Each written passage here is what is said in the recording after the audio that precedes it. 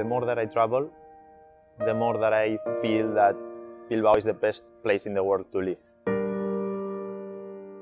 Here in Bilbao we often say that los bilbaínos nacen donde quieren, which means that anyone that lives in Bilbao, no matter where they were born, can say that they are from Bilbao.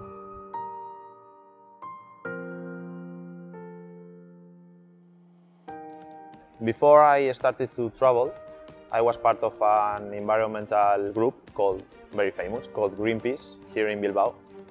And uh, when I got to travel, I maintained my concern for the planet, but I focused more on the issue of tourism, like uh, the problems that the mass tourism generates on the planet.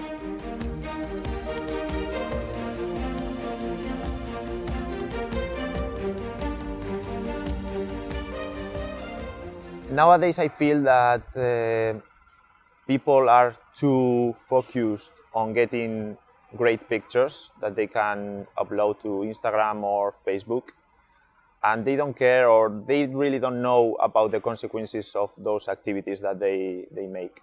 For example, I could say the whale sharks in the Philippines, particularly in a place called Oslob, where they feed the animals.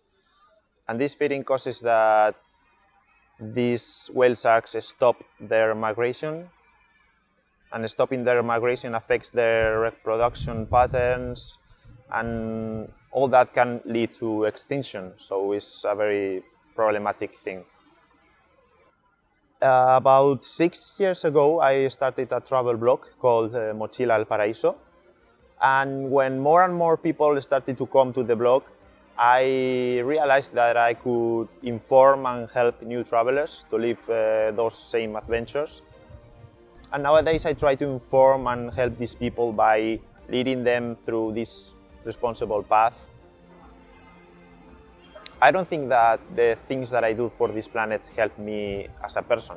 I think they help the planet and I feel better thinking that I'm making a difference. Respect everything and everyone that surrounds you. Because I think that that will be the key to achieve a better future for the planet and for the next uh, generations.